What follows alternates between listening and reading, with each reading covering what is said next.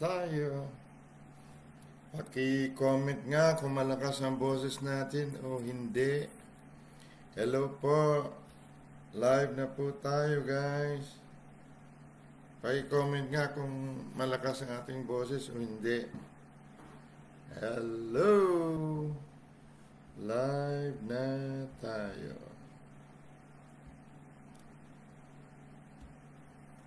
Live na po tayo.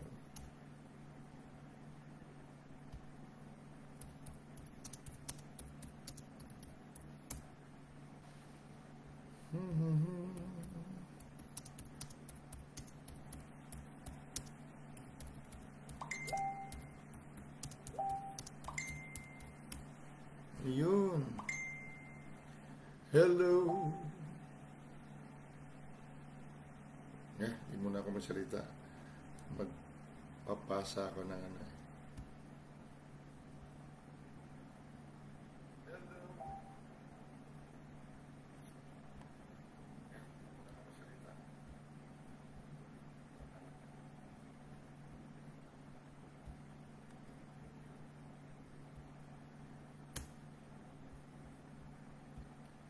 Hello! Ano, kamusta? Kamusta? Malakas? Malakas ba? Okay. Andyan si... Sino nandyan? Ano ba? Kompleto Ricardo. Andyan si Pastor Jem. Andyan ang aming uh, Pastora Anna. Andyan yung aming Pastora Jen. Andyan ang aming Pastor Nino. Andyan Pastor Jean. Okay. Alright. Kagabi, tagal ko. Nabot ako madaling araw. Kaayos na itong speaker na ito. Alright. Uh, kung napanood niyo yung uh, live ni Pastor Jean, ano pa? Uh, mapupuna mo ang desire sa kanyang puso. Ha? Sa gabing ito, atin po uh, ipatuloy kung ano ang uh, maibibigay pa ng Lord sa atin tungkol sa ating live kagabi. Andyan si Pastor Ryan. Yan. Hello. Uh, gusto ko i-review natin kagabi ang ating pinag-aralan. Uh, ang ating na napansin kagabi ay yung panyo at uh, anino na kung hindi na pagpuna ng maraming ministers ay kailan mapuna natin sa gabing ito o nung last last night na kung maobserbahan natin maging ang propeta Elisha Eli, Eli, eh, Elias ba? Elisha ay uh, masyado siyang anointed. Ano pa? Uh, pero namatay siya sa sakit. Nung patay na siya, maging kanyang buto, ay naroon pa rin ang anointing, ang power ng Holy Spirit na yung patay nung itinapon sa kanyang yungib, nung madikit sa mga buto niya, ay nabuhay ang patay. Ano? So, maraming example sa Bible na nangyayari sa ating mga nakaraan na kapatiran at uh, kamakailan lamang uh, pinagpipitiga, you sa tagal pinagpipitiga, pinagpipit taganan na mga kapatiran natin sa ministry ang nawala na rin. Ngunit nung sila'y buhay ay inahangaan sila ng tao, maging ng mga kapatiran, ngunit namatay po sa sakit. Ito ay uh, mga dapat nating mapuna upang uh, mapag-aralan natin nang hindi tayo ang mga susunod na biktima. Ano po? So napag-aralan natin kagabi na hindi tayo dapat maging panyo lamang o apron na gamit ng Diyos lamang. Ano po? Marami sa atin, mga Kristiyano, ang naniniwala na tayo gamit lamang ng Diyos. So, magaling tayo magsalita, magaling tayo mag-preach, magaling tayo mag-evangelize, pero hindi tayo solid sa loob. Hindi tayo naging bagong nilalang sa loob. Magaling tayo sa harapan ng tao, pero pag tayo na lang mismo sa private life natin, ay iba tayo. Kumbaga may double standard tayo. May kaibang katauhan na hindi naman natin tinutuligsa dahil lahat tayo marahil ay ganyan. Ngunit kung hindi natin pansinin at pag-aralan, magagaya din tayo sa iba na akala natin ay okay. Pero pagkagising natin sa kabilang mundo, sa hadis pala ay pupunta. Hindi natin pinagtidiinan pa ang mensahe na ganyan dahil marahil marami sa inyo ang hindi pa malulun Ngunit uh, nailagay natin kahapon kung bakit ganyan. Ating uli basahin, ha? Unahin natin si Pablo, no? Na dating Saul. Tingnan natin sa Acts chapter 13 sa mga gawa na chapter 13. Tingnan na natin ang pangalan na Saul na naging Pablo. Sa Act chapter 13, verse 9, sa King James Version, basahin ko po, uh, Acts chapter 13, dito sa verse 9, basahin ko po sa King James Version. Sa mga hindi sanay pa sa mga turo na ganito, eh, panalo ka kapatid kung nakikinig ka. Dahil kung ang pinakikinggan natin ay katulad o kagaya o halos pareho lang din sa narinig natin kahapon o sa ating church, ay wala kang panalo. Walang pagbabago. Wala kang alam na iba. So, kung isang tabi muna natin yon, yung narinig natin, at pakinggan natin ito, malay mo, malaking karagdagan sa iyo ito. Verse 9, Then Saul or Saul, who also is called Paul, filled with the Holy Ghost, set his eyes on him. Ito yung sorcerer na si uh,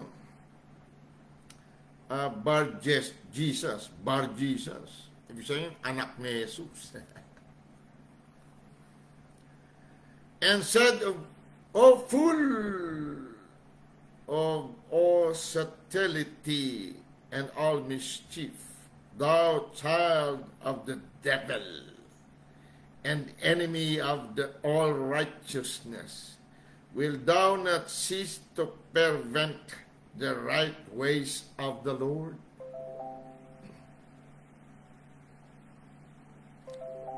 Itong mga pananalita po, hindi po ito salita ni Saul.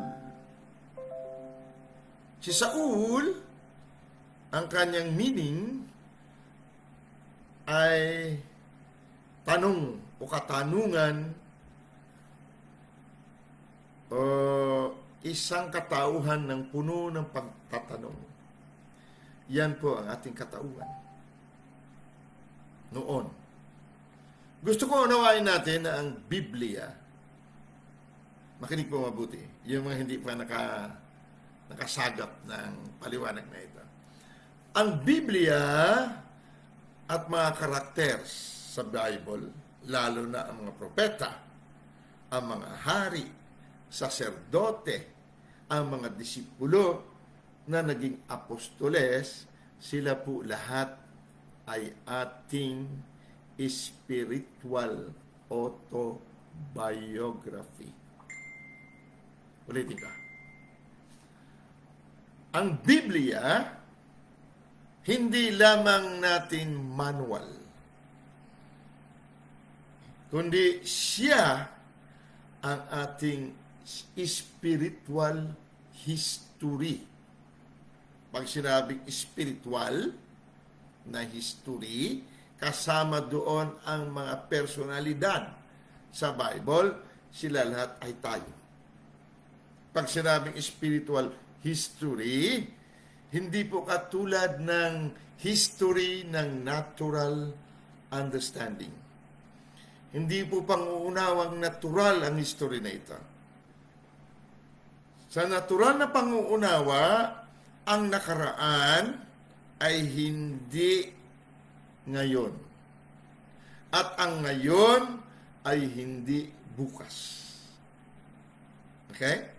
Ngunit si Jesus Christ na ating true state or tunay na katauhan ay katulad noon o kahapon, ngayon at magpakailanman. Sa makatuwid, ang sinasabi na natural man na nakaraan at darating na hiwalay pagdating sa spiritual history ang nakaraan at ang darating ay iisa. ulit, ulit, ulit. Ulit, ulit, ulit. Ang mga disipulo na naging apostol, ang mga hari, ang mga saserdote, ang mga propeta, ang katalunan, kapanalunan sa Old Testament, sa giyera, lahat sila ay iisang spiritual history ng bawat Kristiyano. So si Saul ay iyong history.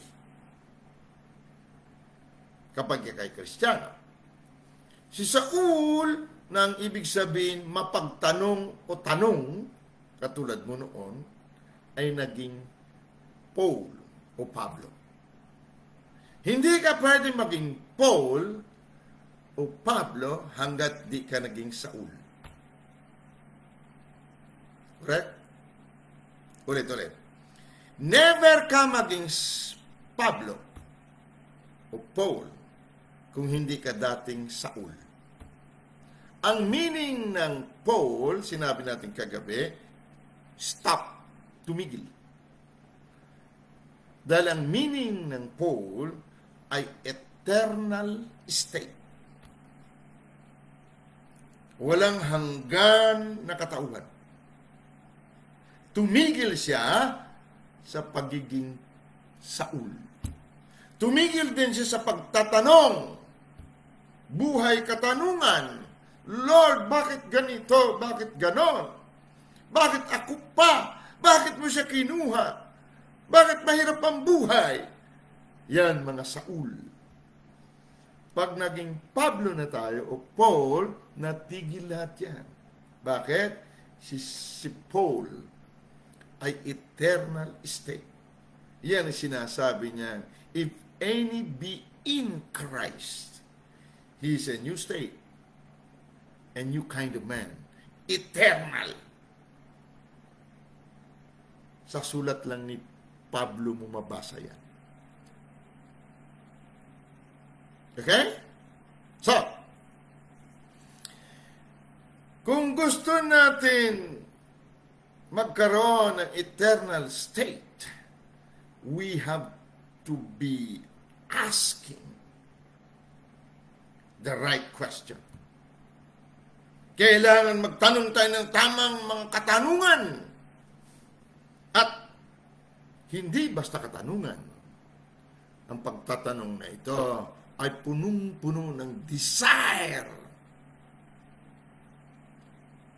Pagnanasa na matanggap ang kasagutan.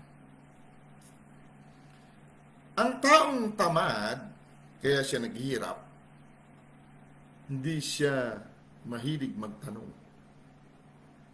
Bakit?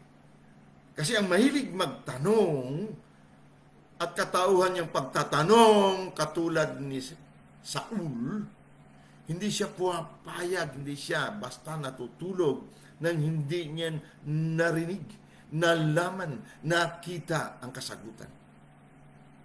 Kaya maraming bobo, katulad ko noon, kasi hindi mapagtanong. Sabi ng teacher, ah, narinig mo yung tatay? Opo, ma'am, opo. Mamaya, pag-examine na. Oh, bakit zero ka? Akala ko man narinig mo. Narinig ko po. Ano narinig mo? No, sabi niyo po, zero po ako. Alright? Yung maraming bopols doon sa tabi ng basurahan. Alam mo kung bakit sa tabi ng basurahan? Masipag yan. Dalawa kasi ang eraser ni ma'am. Pag alam niya na punong-puno na, pag uh, nag-erase si ma'am sa, ano, sa, sa pisara, muputi na. Takbo yun. Kuha yun ng, ng, ano, ng eraser. Bigay kay ma'am yung bago. Pag, pagpag niya doon sa, sa, ano, sa, sa basurahan, pinapagpag niya ito, tapos yung mga papel na ano, magaling yun. Yung papel ng mga scratch paper na doon, pinapahid-pahiran niya yun. Tapos, pag mga alas 11 na, o alas 10 media, mag-recess na yon. Pag recess na na, alam na niya yon. Magluluto na doon sa uh, bahay ni ma'am. sa amin noon. Alam na ni ma'am yun. So pagdating alas 12, luto na yun. Uwi si ma'am, kakain na yun. At uwi na rin siya, kain. Pasado yun! Joke lang. Alright. Ewan ko sa inyo kung nangyayari. Sa amin nangyayari noon. Alright. So, hindi ka pa pwedeng maging Pablo hanggang di ka naging Saul. Alright? Ano uli ang Saul? Ha? mapagtanong. Tanong ng tanong. Naghahanap ng kasagutan. Nung naging Pablo na siya, natigil ang pagtatanong niya. Bakit? Ang kanyang kaisipan ay Kristo na.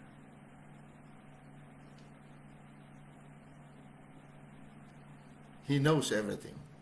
Kaya sinabi ni Pablo, ni, ni Juan, you know all things because you have the, un, the unction of the Holy One.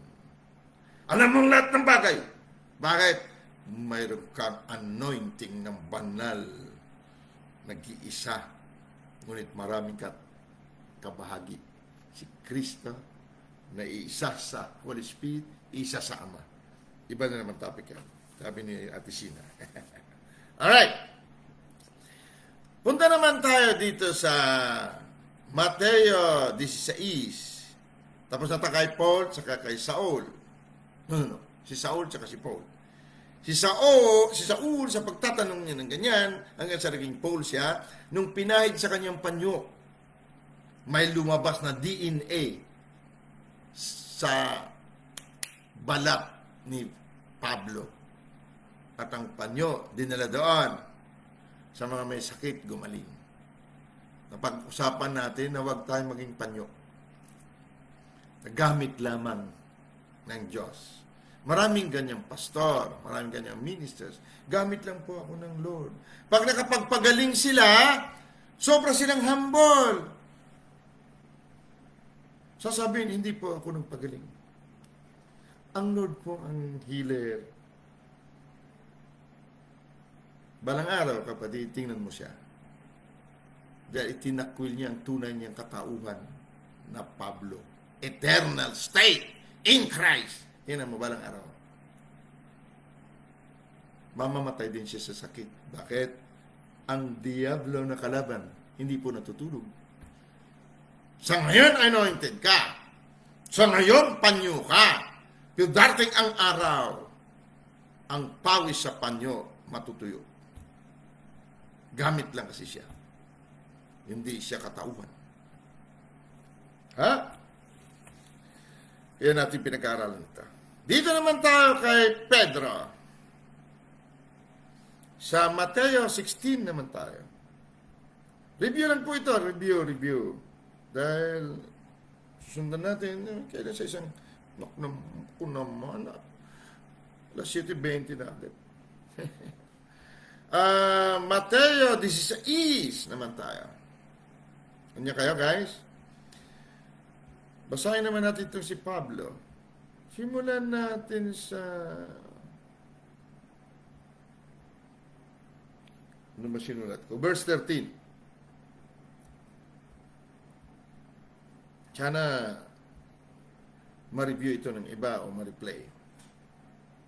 Basahin ko po sa King James muna. muna. When Jesus, sa verse 13 tayo, Matthew 16:13. When Jesus came into the coast of Caesarea Philippi, he asked his disciples, saying, Whom do men say that I, the Son of Man, am? Tagalog. At nang dumating nga si Jesus sa mga sakop ng Cesarea ni Pilipo, ay tinanong niya sa kanyang mga alagad na sinasabi, ano baga ang sinasabi ng mga tao kung sino ang anak ng tao? Baka may comments kayo dyan, guys. Basahin ko muna. Okay lang ba ang boses ko? okay. Okay, nagtanong si Jesus. Tanda natin, si Heso Kristo ang ating eternal state. Eternal, ibig sabihin, walang hanggan na katauhan. The same yesterday, today, and forever. Ayaw mo maniwala, yan ka, kapatid. Dito sa mundong ibabaw, sa mundong ito, pag hindi na paniwala ng Kristiyano yan, huwag kang mag-alala. Pag nandun ka na sa Hades, maniniwala ka. yan, bago na naman yan. Pag-aralan niyo mabuti, ha? Huwag tayong katitiwala. Okay lang ba ako dyan? Yan, basahin ko lang inyong ano. Okay po. Boses, okay. Sabi ni pastor ninyo natin. Alam mo kapag ka ikaw ay natural man, natural na kaisipan lamang ginagamit dahil kinulong ka ng sekta, binulag ka ng reliyon mo at sekta, kahit na sabihin mo pa daang libong beses na ikaw ay born again,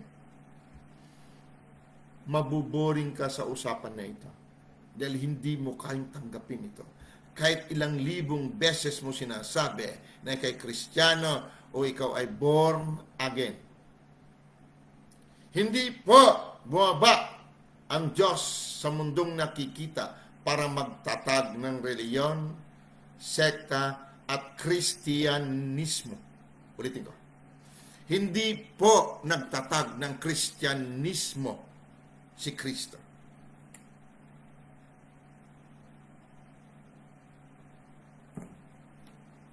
Bago yan. Kristiyano ka ba? Eh bakit ayaw mo pagdinggin ang tunay mo katawan? Reliyon pa rin ang Kristyanismo na sinasabi natin kapag hindi tayo naniniwala na ikaw mismo ang nakikitang si Jesus Christ sa mundong ito. Don't you know that Jesus Christ lives in you unless you fail the test? Basahin mo na sa Bible yan. Pag hindi ka nakinig sa katotohanan na ito at patuloy mong pagbulay-bulayan, huwag kang mag-alala. Pag namatay ka, doon ka sa ilalim ng lupa, hindi ka pupunta sa paraiso. Maghintay ka muna sa Hades. dahil tatapusin ni Jesus Christ ang sinimulan niya sa iyo. Basahin mo na sa Bible yan. He who began a good work in you, sabi niya, sisiguruhin niya na kukumplituhin ka niya bago ka ilipat sa paradise. Huwag kang katitiwala, kapatid. Please. Huwag kang magalala. Ligtas ka. Walang kaduda-duda. Kaya lang, hindi ka pwede i-reconcile sa Diyos. Walang sino mang tao na pinili ng Diyos sa sarili niya bago itatag ang sanglibutan nang ibabalik niya sa sarili niya na hindi ka Kristo. Basahin mo sa Epeso 1, 3, 4. Verse 3 and 4. Pinili ka kay Kristo bago pa itatag ang sanglibutan. Kaya ka lang may reconcile. Re, ibalik. Concile means one. Kapag ikaw at ako ay Christ. In Christ. So kung kuya-kuya ko title, ang ating, ang ating, ang ating church ay air condition, English speaking tayo, social tayo, hindi tayo nagsasalita ng Tagalog, nagtatagalog lang tayo sa bahay pag kinakausap natin katulong.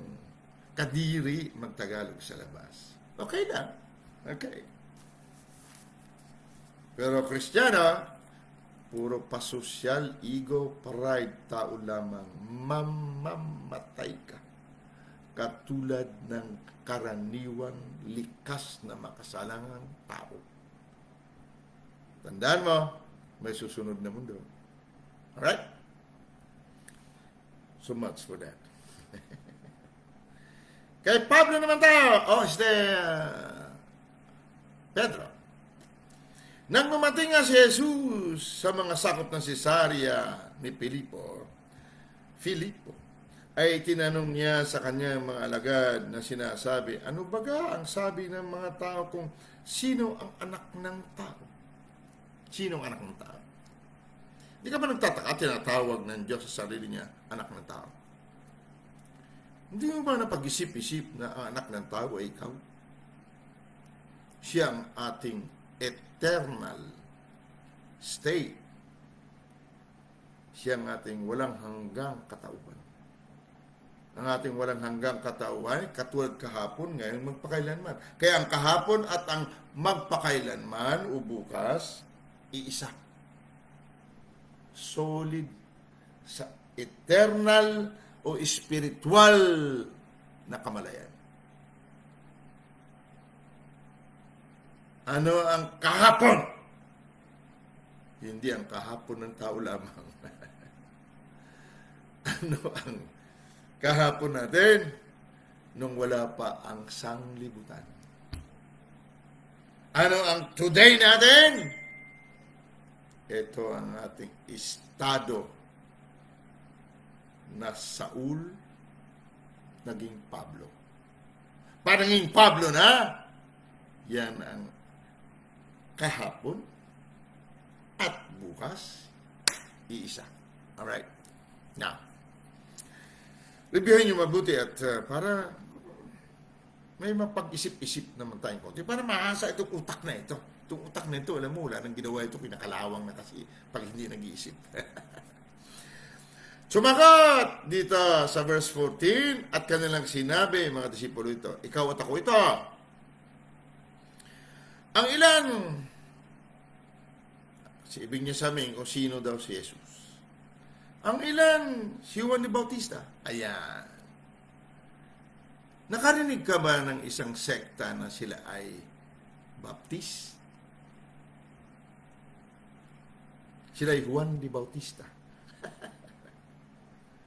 Pag hindi ka na bautismoan sa kanilang congregation, sa kanilang sekta, hindi kaligtas.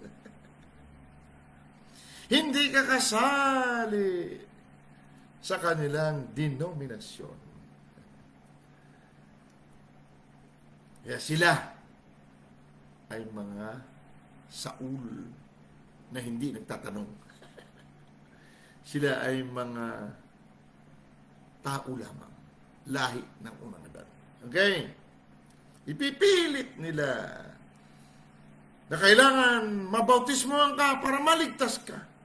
Pero, kayong mga babae, ha, wala kayong karapatan mag-preach. Wala.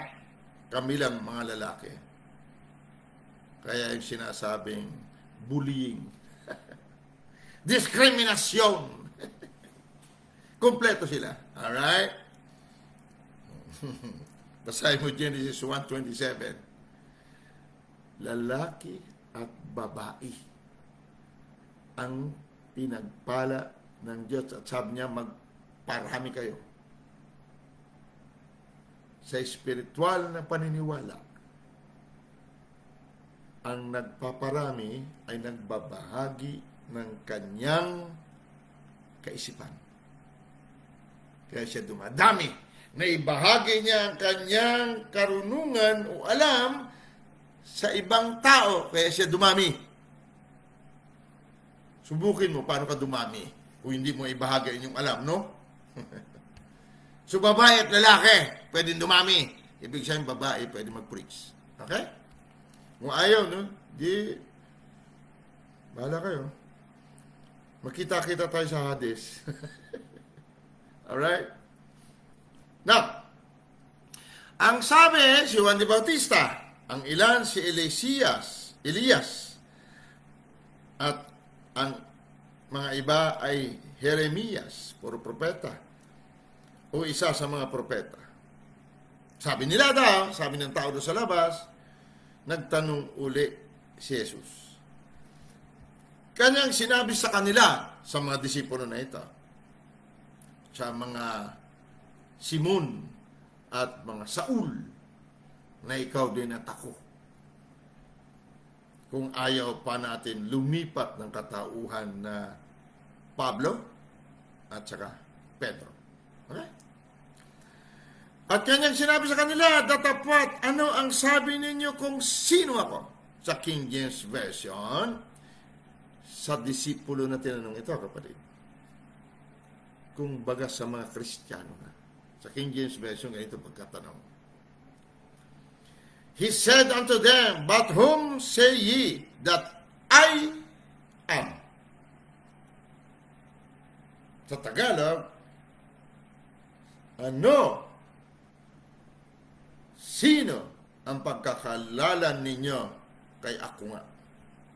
Sabi ng Diyos kay Moses, pag nagtanong sila kung sino nagsugo sa'yo, sabihin mo si ako nga na ako nga.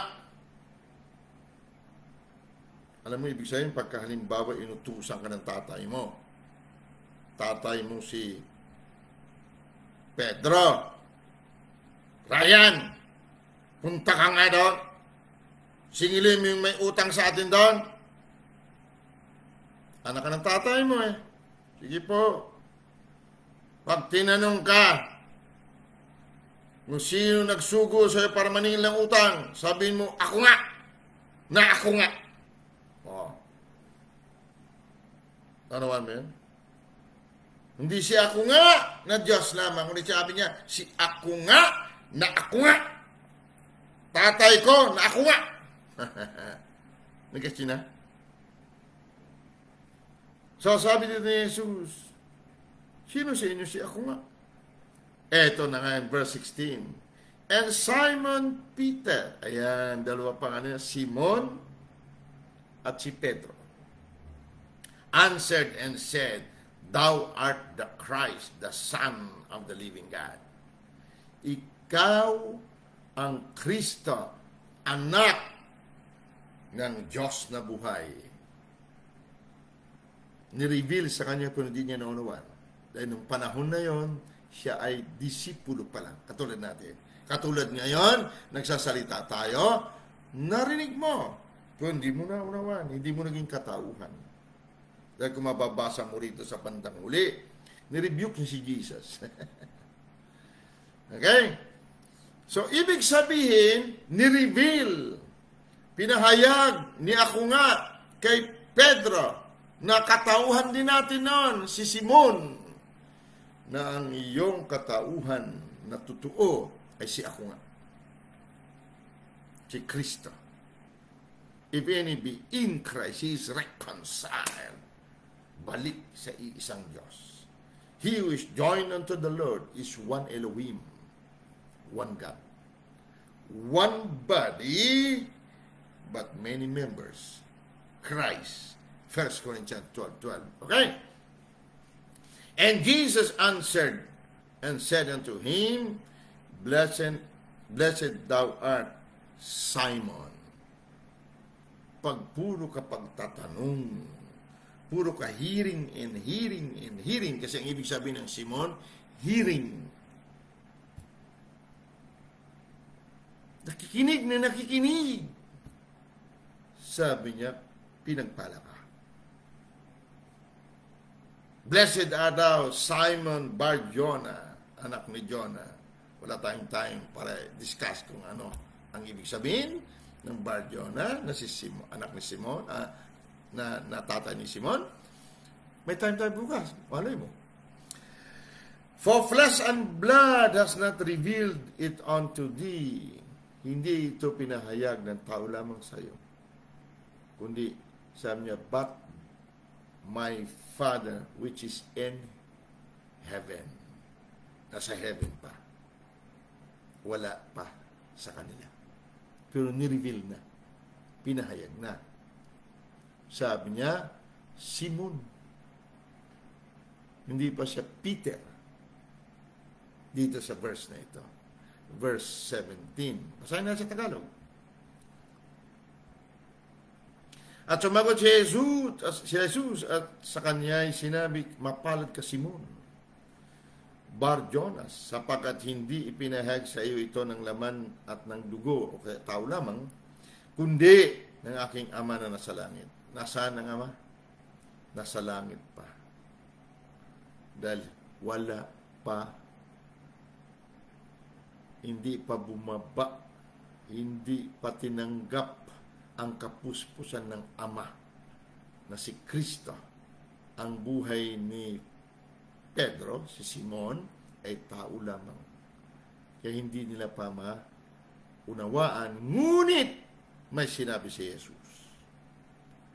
Verse 18. At sinabi ko naman sa iyo na ikaw ay Pedro. Ayan na. Diniklara na ni Jesus ang eternal state ni Simon na ikaw din at ako.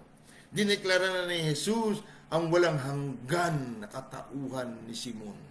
Sabi niya, ikaw ay Pedro. Ang ibig sabihin ng Pedro, adobe na bato. Malaking adobe. Rock. Dito tinatayo ang haligi ng simbahan. At sa ibabaw ng batong ito, Pedro.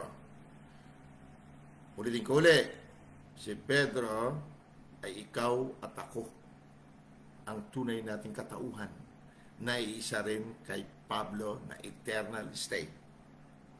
Bato, everlasting na katauhan.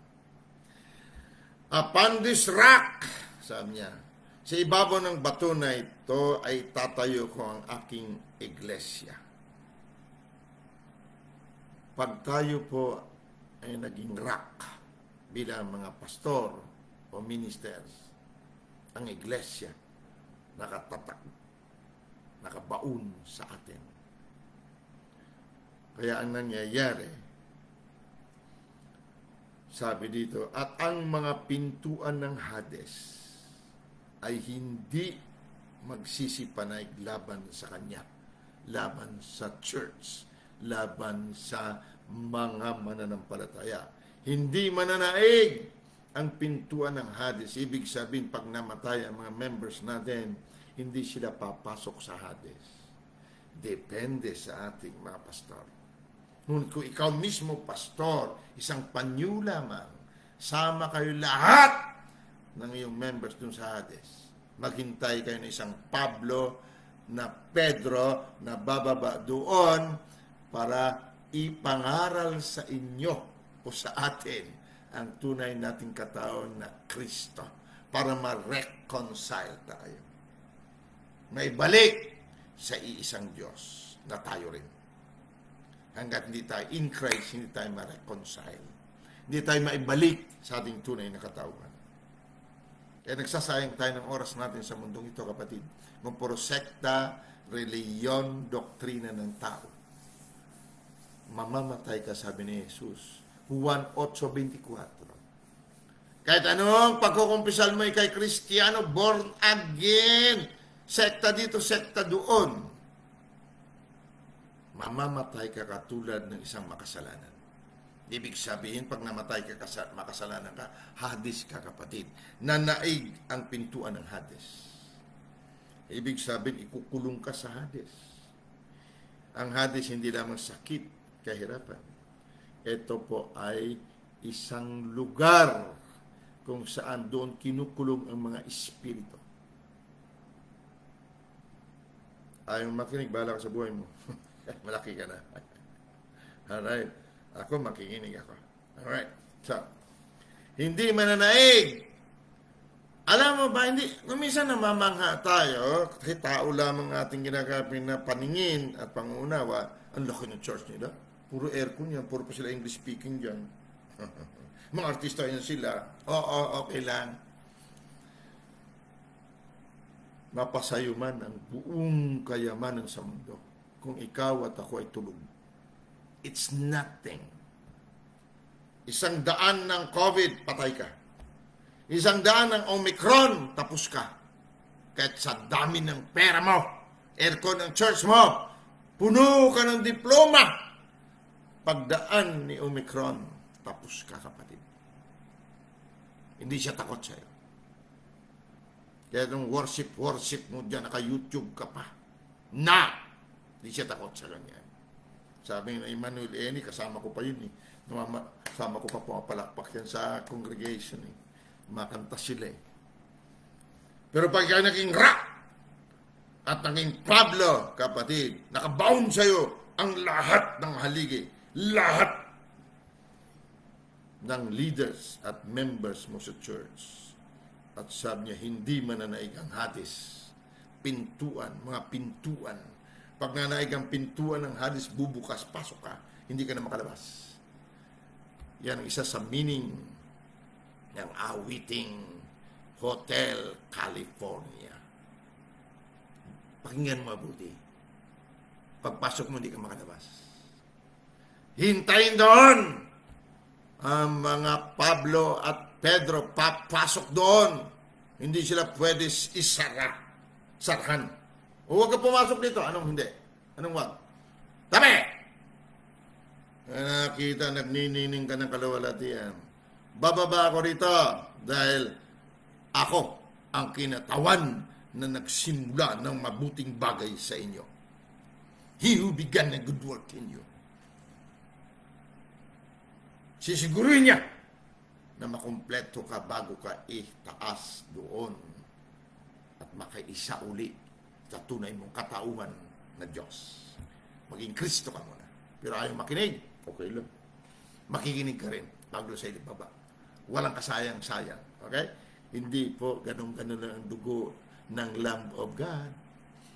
Pinas lang siya bago pa itatag ang sanglibutan. Hindi basta-basta nung naligtas kay, okay lang, pag namatay kami, punta naman kami sa langit. Yan ang alam mo. Basahin mabuti. He who began a good work in you. Basahin mo kung saan yan. Sinimulan kanya doon sa spiritual realm. Wala pang sanglibutan. Doon kanya simulan. Sisiguruhin niya na naibalik ka sa spiritual realm para naibalik ka sa kanya. Hindi yung dito lang sa mundong ito. May sunod na mundo. Ha? Now, hindi yan ang topic natin. Review pa lang yan. Naku, 15 minutes na lang. Okay. Punta na tayo sa how-tos. Paano ang Saul maging Pablo? Paano ang Simon maging Pedro? Alright? Punta tayo sa Epeso chapter 4. Gusto nyo ba Oh, mukhang ilan na lang ah. Natira. Epeso 4. Guys, ah, medyo sinasaya-saya natin siyempre ang ating usapan para hindi kayo mabibigla. Hindi tayo mabibigla. Huwag tayo kampante na okay na tayo. Please. Ang journey natin from visible to invisible. Dahil galing tayo sa invisible. Kailan bumalik tayo sa invisible. From invisible, kung hindi nakikita, naging visible tayo. Nung naging visible tayo, nadaya tayo ng serpente sa paraiso. Dati tayong hubad, hindi naman natin nakikita, okay lang sa atin. Nung kumain tayo ng pinagbawal na prutas, nakita natin hubad tayo. Nagkaroon tayo ng malisya. Kaya kung minsan masabihan ka lang, mapayuhan ka ng konting payo, ang tingin mo agad, dinig mo agad. Oh, Ni-insulto ako nito eh. Minamalit ako nito. Yan, yan. Wala naman nagsabi siya yung ganon. Na? Yung selos, inggit, galit, hindi mapagpatawad, no? Samaan loob, balat sibuyas, yan ganyan tayo. Hanggang sa natuto tayong magtanong, tanong, tanong, at makinig, makinig.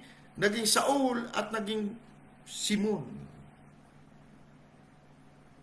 Hanggang sa, oo nga, no? oo nga, oo nga, unti-unti ngayon.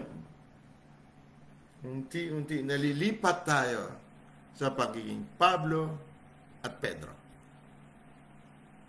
Eternal, balik sa invisible na katawan. Itong katawan ni Jesus Christ, our eternal state.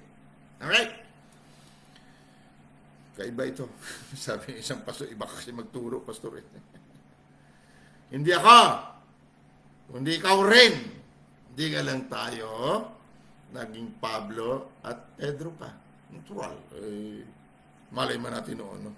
Epeso 4. Yahautos na tayo. Verse 22 tayo. At inyong iwan tungkol sa paraan ng inyong pamumuhay na nakaraan ang dating pagkatao na sumasama ng sumasama ayon sa mga kahalayan ng panpagdaraya.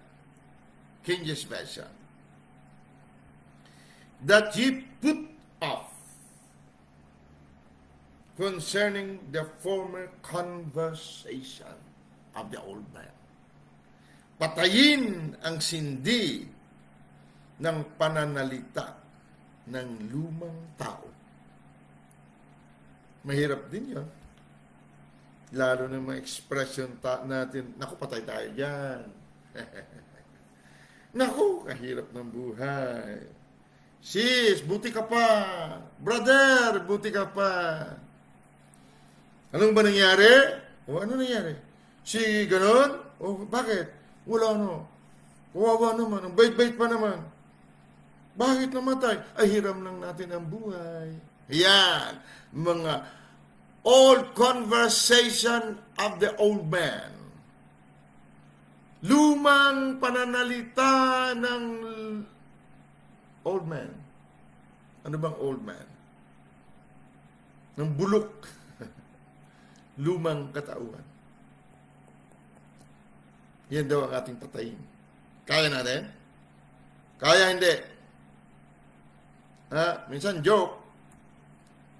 Pero kahit na joke, kailangan pa rin patayin ang pananalita na yan. Dahil kung hindi, maiwan pa rin tayong Simon at Saul. Pag hindi tayo na-convert sa Pablo at Pedro, baba tayo sa Hades. Bakit? Kapag hindi tayo naging Pedro, rock, ang pintuan ng Hades, mananaig. Ano ibig sabihin? Bubukas. Welcome home. Pagpasok mo sarado. Hindi ka makalabas. Pero pagdating ng mga anointed na Pedro at Pablo,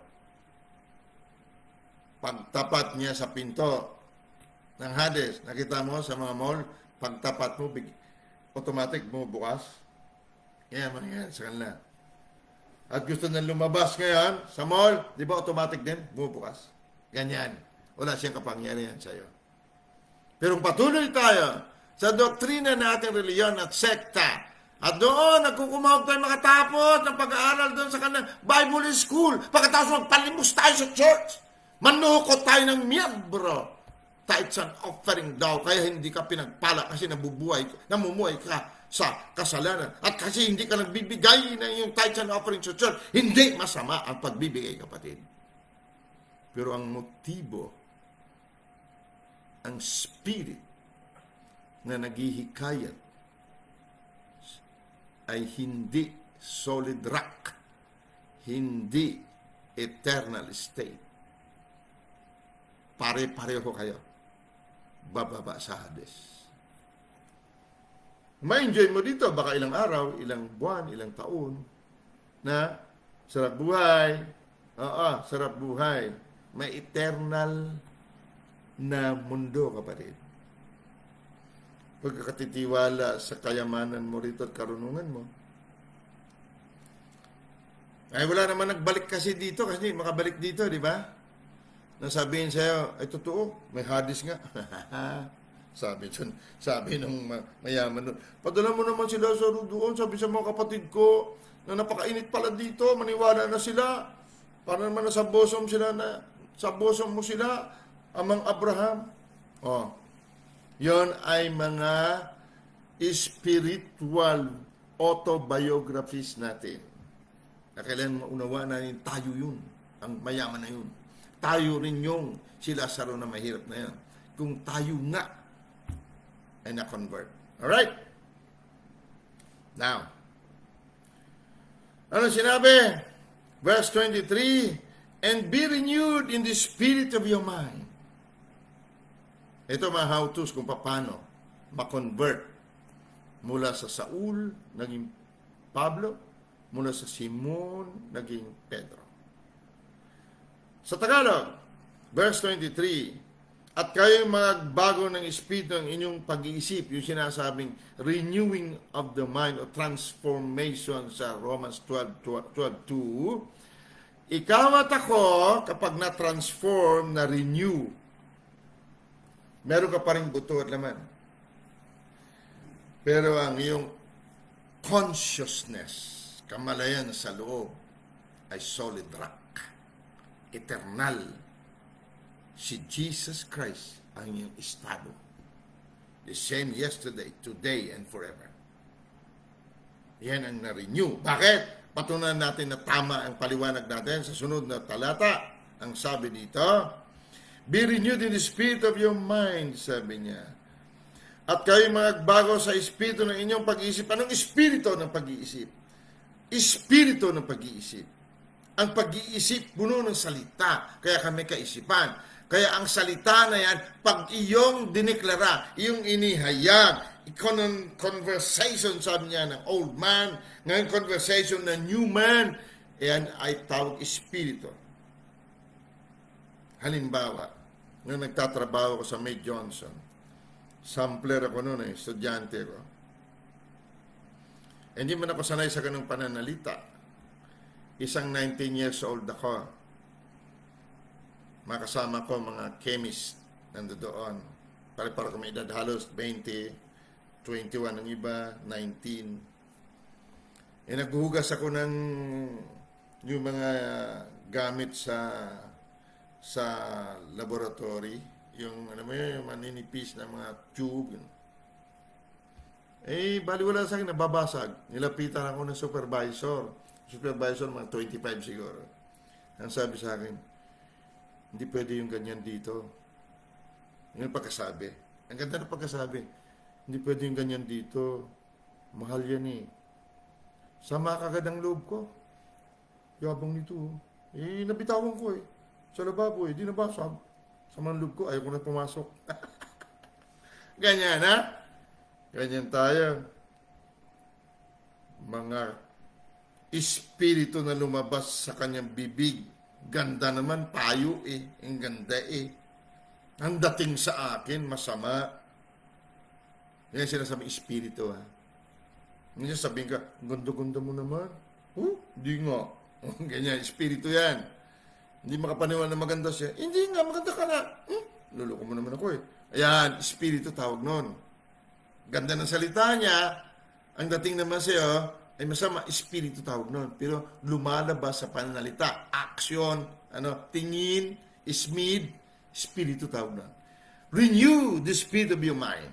Baguhin ang kaisipan, pag-iisip ng iyong, ng espiritu ng iyong pag-iisip. Okay, now, verse 24. Verse 24, dito na tayo magtatapos. Dahil wala tayong oras. King James Version, and that ye put on the new man. Ito, bago to. Kanina sa verse 22, old man. Ito, new man. Which is after God is created in righteousness and true holiness. Walang true holiness na hindi Diyos, kapatid. Eternal state. Jesus Christ state. The state of the I am. Pag hindi tayo naging ganyan, ang pintuan ng Hades, kapatid, nagsisimula sa visible world, kahirapan, sakit, Omicron, COVID, patay, wasak, pagnanakaw. Nanakawan ka na nga, pinatay ka, winasa ka na, punta ka pa sa Hades. Matindi, ano? Gusto mo yan? Sabi niya how to's, sa eternal state. Walang hanggan na katauhan, the beginning and the end, everlasting life. Itigil, patayin ang dating pananalita ng lumang tao. Baguhin ang espiritu ng ating kaisipan para maisuot natin ang bagong katauhan na ito ay katulad mismo ng Diyos na matuwid at totoong banal. Panalo. Hanggat nandito tayo sa mundo, pagka nasimulan ng Diyos sa eternal world, ay ating nakumpleto sa pamagitan ng salita na Diyos ay hindi tayo pupunta sa Hades. Kung pupunta man tayo doon para mag-preach, magpalaya ng mga espiritu doon.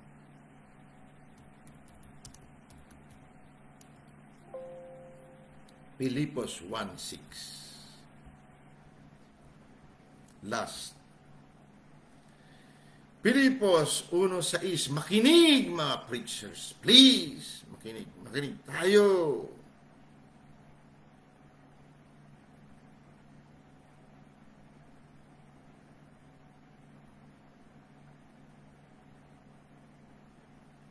verse 1 or verse 3. Philippus chapter 1 verse 3. Ito si Saul na naging Pablo. Saul means tanong. Tanong ng tanong, mapagtanong. Nung siya ay naging Pablo, alam niya kung sino siya. Eternal ang kanyang katauhan, si Kristo, in Christ. Siya nagsabi sa mga taga-Pilipos. Verse 3, Ako'y nagpapasalamat sa aking Diyos sa tuwing kayo'y aking naaalala. Verse 4, na parating sa bawat daing ko ay masayang masayang nananaig ako masayang nanananaing. Ano ibig sabihin?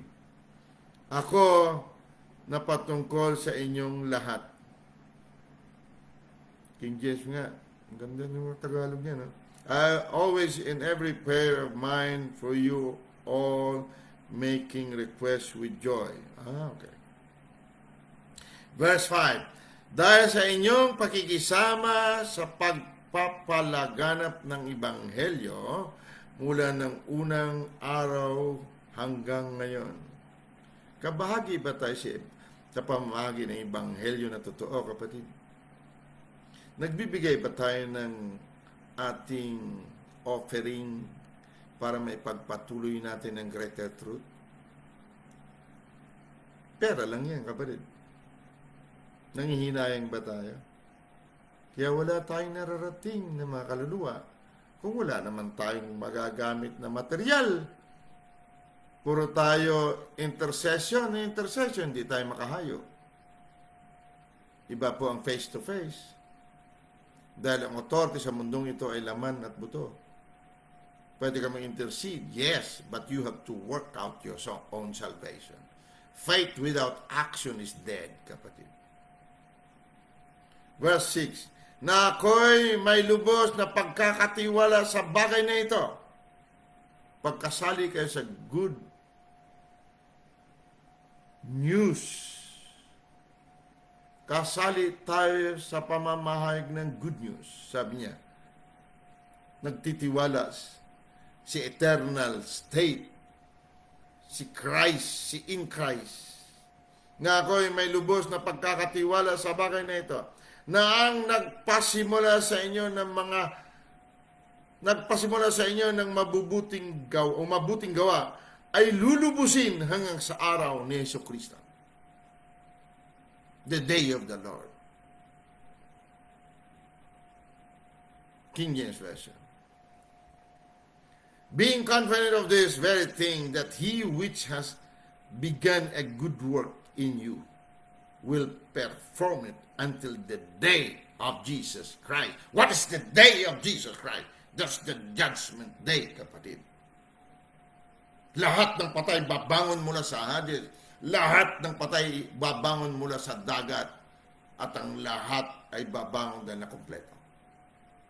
He who began a good work in you. Kailan siya nagsimula ng mabuting gawa sa iyo? Nung wala pa ang sanglibutan, kapatid.